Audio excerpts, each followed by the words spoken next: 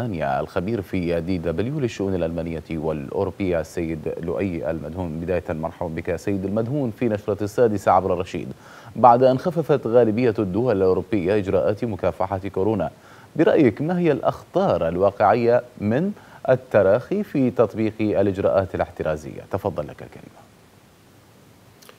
أعتقد أن الأخطار تتمركز حول مدى جدية الأفراد في تطبيق هذه الإجراءات ولأنه لم ترفع غالبية هذه الإجراءات. هم تم تخفيف الإجراءات الاحترازية وإجراءات التبادل الاجتماعي في دول أوروبية. فعلا نجحت في السيطرة مؤقتا ونسبيا على هذا المرض لكن فيروس كورونا لا يزال موجود ولا إمكانية حدوث موجات أخرى موجة ثانية وثالثة لا يزال لا تزال واردة.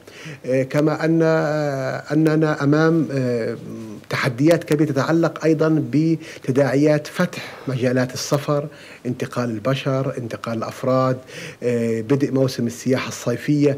يعني نحن أمام جملة من العوامل غير المؤكدة التي لا نعرف بالضبط كيفية تأثيرها على سرعة تفشي هذه الجائحة. من الصعب الحديث عن السيطرة الكاملة على هذه المرض. نحن الأمر يتعلق بعدة عوامل أهمها مدى انضباط الأفراد في الحفاظ على الحد الأدنى من إجراءات التباعد الاجتماعي. طيب سيد المدهون ما هي تعليقاتكم حول تحضيرات منظمة الصحة العالمية بعدم التراخي في تطبيق الإجراءات الوقائية هل فعلا يعود إلى إمكانية سرعة انتشار الفيروس مرة أخرى من جديد؟ طبعا أعتقد أن منظمة الصحة العالمية وخبرائها والمختصين هناك فيها في علوم الأوبئة يعتمدون في تحذيراتهم على الأرقام التي تصلهم. الأرقام تتحدث لغة واضحة. نحن سنصل إلى عتبة العشرة ملايين إصابة في الأيام القادمة. أعتقد أن هذا الأمر مؤكد.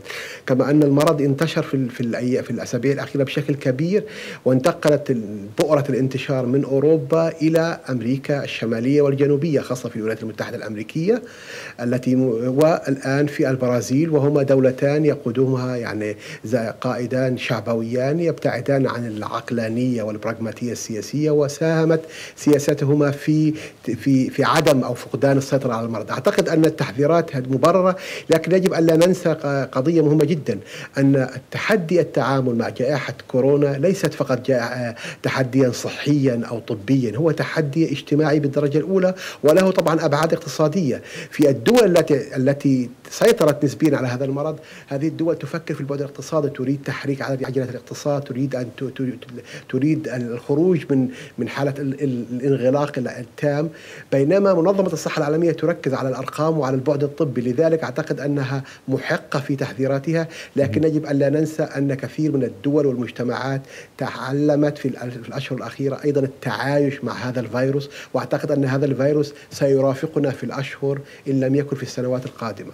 طيب تحذرت أو تحدثت عن موجات جديدة من الفيروس. ما مدى واقعية هذا الكلام؟ وخطر عودة هذا الفيروس بموجات جديدة كما هو الحال في إيران؟ يعني كما نرى الآن أيضا هنا في ألمانيا كما يعني في, في قبل عدة أيام اكتشفت بؤرة كبيرة لانتشار لانتشار فيروس كورونا في غرب ألمانيا في منطقة توجد فيها أكبر مسلخ في أوروبا. وهنا في هذه المنطقة تمت انتقلت العدوى بشكل كبير جدا إلى أكثر من ثلاثة ألاف شخص خلال عدة أيام. نظرا للظروف الصعبة وغياب الالتزام بقواعد الصحة داخل داخل هذا المسلخ. وهذا يعني أن الحكومة الولاية نوردغاين شمال الراين ويسفاليا اضطرت إلى إغلاق المحلي في هذه المنطقة، يعني هذا مجرد تحذير ومثال لهذه المنطقة، ذكرت مثال إيران، أعتقد أن الأرقام في إيران أرقام لا تزال يعني غير دقيقة وأنها أنها أرقام أكبر بكثير مما تقوله الحكومة، لكن وبعد أن سيطرت الحكومة الإيرانية وفق بياناتها وبيانات منظمه الصحة العالمية على المرض، يبدو أن هناك موجة أخرى ضربت البلاد، أعتقد أن هناك موجات صغيرة صغيرة ستضرب أيضا أماكن أوروبية في في المناطق التي سينتشر فيها السياح. نحن نعرف الآن أن هذا الفيروس ينتشر في المناطق التي يتواجد فيها تجمعات بشرية كبيرة ولا هذه التجمعات لا تقوم بالالتزام بقواعد الصحة العامة وبقواعد منع العدوى والتباعد الاجتماعي. هذا هو لب الموضوع. قضية انضباط الأفراد بالدرجة الأولى هو الذي سيحدد قدرة القدرة على السيطرة على السيطرة على هذه الجائحة أم لا. أما الدول والمجتمعات بإمكانها أن تفرض أن تفرض حجر صحي وإجراءات احترازية لكن الانضباط الشخصي هو العامل الحاسم في طيب. هذه القضية. طيب سيد مدهون يعني تعقيبا على كلامك كيف يمكن أن يؤثر موسم الإجازات والسياحة الصيفية على انتشار وباء كورونا؟ أعتقد أن هذا ان ان, الان أن التعامل الآن وبدء فترة العطلات هنا خاصة في أوروبا ودول جنوب البحر المتوسط أن هناك نوع من من من التفاؤل المبالغ به الآن، إحنا لا نعرف بالضبط يعني مدى عند كيف سينتجر المرض في بداية شهر العام الشهر القادم عندما سيسافر ملايين السياح من شمال ووسط أوروبا إلى غرب أوروبا إلى جنوب أوروبا عفوا والعكس، نحن لا نعرف هذا الأمر ولكن أعتقد أن هنا أنه توجد مبررات ودلائل واضحة تشير إلى أن العامل الإنساني، العامل الإنساني معناها عدم التزام الأفراد بهذه القواعد، بجانب طبعا أخطاء كبيرة تتعلق بالكم، الكم البشري في منطقة سياحية في بؤرة سياحية معين ممكن يتحول يحول هذه المنطقة بسرعة إلى بؤرة ينتشر فيها فيروس كورونا، لذلك نحن الآن يعتمد على كيفية إدارة موسم العطلات، كيفية إدارة رحلات الطيران، كيفية إدارة المسافرين رغم أنني أعتقد أن عدد المسافرين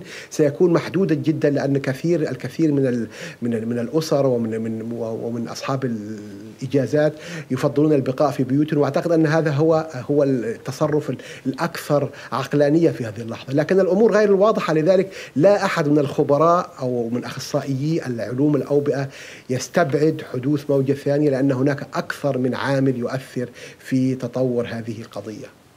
حدثنا مباشرة من ألمانيا بالصوت والصورة سيد لؤي مدهون الخبير في ال DW للشؤون الألمانية والأوروبية. شكرا جزيلا لك لانضمامك إلينا في نشرة السادسة. شكرا جزيلا لك.